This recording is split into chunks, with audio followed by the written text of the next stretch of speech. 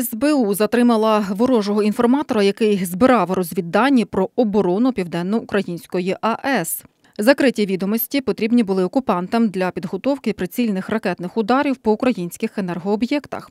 За даними слідства, поплічником агресора виявився мешканець Южноукраїнська.